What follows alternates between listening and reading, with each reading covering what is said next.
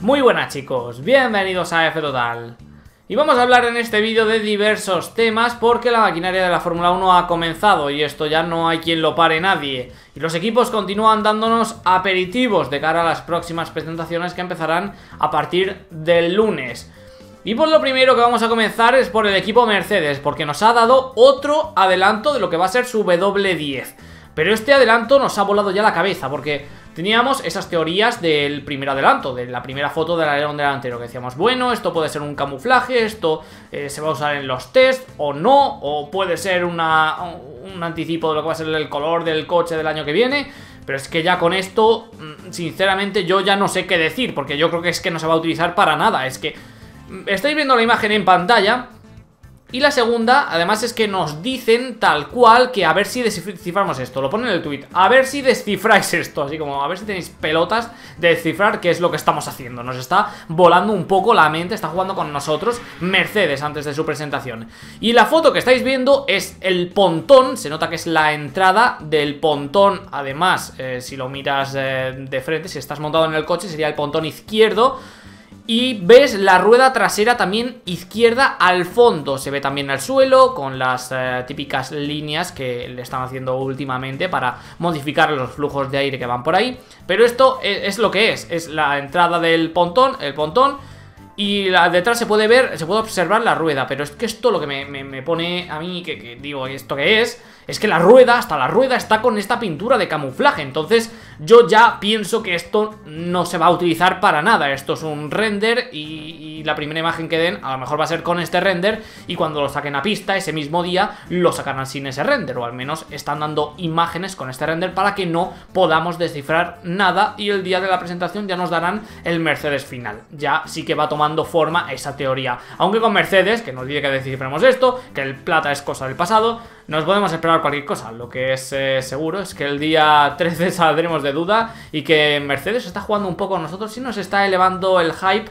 a cotas insospechadas. Hay muchas ganas de ver qué es lo que están haciendo en Mercedes con esto, pero yo creo que cobra forma la teoría de que esto es solamente para darnos estos pequeños adelantos y luego el coche finalmente será otra cosa. No va a ser con estos colores ni mucho menos y a lo mejor ni lo vemos realmente con estos colores ni en los test. Continuamos porque Williams ha presentado su fecha. Ya sabemos cuándo se va a presentar el nuevo FW42. Presumiblemente se va a llamar así. El coche que van a pilotar tanto Robert Kubica como George Russell.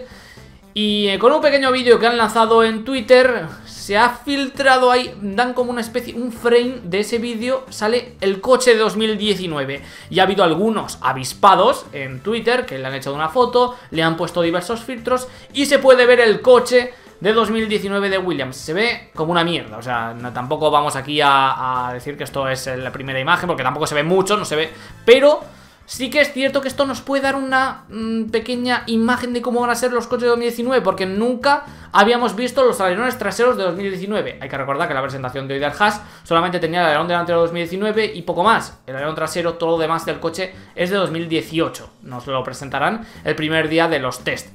Pero aquí ya se puede ver perfectamente el alerón delantero bueno, perfectamente, entre comillas, el alerón delantero de 2019, pero también el alerón trasero se nota que está más eh, alto, es más alto, como van a ser este año, un poquito más alto y sobre todo también más ancho, se nota que es más grande. Así que bueno, pues sabemos que la fecha de presentación del Williams ha sido el, va a ser el día 11, el lunes también, junto con la de Toros, así que el lunes ya empezamos fuertes. Y vemos ya por primera vez ese alerón trasero, aunque sea con esta imagen que es un poco una mierda. Pero bueno, al menos nos sirve para abrir un poco de boca y ver cómo se van a ver más o menos esos alerones traseros que no los habíamos visto hasta ahora. Y ya conocemos la fecha que será el 11 de Williams, que se rumorea que pueden tener un nuevo patrocinador principal, lo que cambiaría el diseño que estamos acostumbrados de ver eh, de Williams eh, en estos últimos años ya va a cambiar, seguro. Martín ya no va a estar con ellos, pero según el patrocinador que sea principal también veremos una u otra decoración. Lo veremos el lunes, el lunes día 11. Y ya pasando lo último, pues vamos a hablar del equipo Haas que se ha presentado en el día de hoy. Y es que eh, Rick Energy la empresa que va a patrocinar al equipo Haas es una empresa de bebidas energéticas. Y si ha entrado a la Fórmula 1 ha sido por lo bien que le ha ido a Red Bull. Y su principal competencia es Red Bull y a quien quieren ganar es a Red Bull. Les da igual cualquier otro. Lo que quieren es quedar por delante de Red Bull. Y creen que en este 2019 lo van a hacer. Esto es lo que dice el jefe de Rick Energy. Confiamos en que vamos a vencer a Red Bull en muchas carreras este año. Es un poco el santo grial, pero a veces lo consigues con un poco de casualidad y cuando se trata del momento adecuado. Red Bull se ha gastado 280 millones de euros en Fórmula 1 y el año pasado entre Dorros y Red Bull aproximadamente 450. Pienso que si les vencemos en la pista, algo que creo que vamos a tener posibilidades de hacer será un logro brillante para nosotros. Esto es lo que dice el jefe de Rick Energy. Supongo que pensará, dirá, bueno, eh, Red Bull ahora va a estar con el motor Honda, Honda no ha ido bien en el pasado y bueno, vamos a ver, bueno, es que eh, al fin y al cabo lo que quieren es vencer a Red Bull, entonces a quien tienen que decir que van a vencer es a Red Bull, porque han entrado a Fórmula 1 para vencer a ellos, que es como su rival directo, no es ni Mercedes ni Ferrari, es Red Bull, porque es una marca también de bebidas energéticas y es donde ponen el ojo, ahora ya que suceda, ya eso lo veo un poquito más complicado, pero bueno, en Haas están muy confiados, vienen de un 2000 que ha sido un coche muy bueno y quieren continuar así en este 2019, dar otro pasito hacia adelante y ahora sí encontrarse con Red Bull, que es lo que quiere también Rick Energy. Así que lucha de bebidas energéticas tendremos el 2019 en la pista. Yo creo que va a estar complicado que suceda, también te digo, pero bueno, todo puede pasar en Fórmula 1 y en Rick Energy entran para decirles. Dejadme en los comentarios qué opináis acerca de estos nuevos adelantos que nos dejan un poco ahí con la miel en los labios, ahí como que sí, pero no, como que enseñan algo, pero no enseñan nada y nos vuelven más locos y tenemos más ganas de que llegue ya la semana que viene. Dejadme en los comentarios qué opináis, suscribíos, dejad vuestro like y nos vemos en el próximo vídeo, chicos. Hasta luego.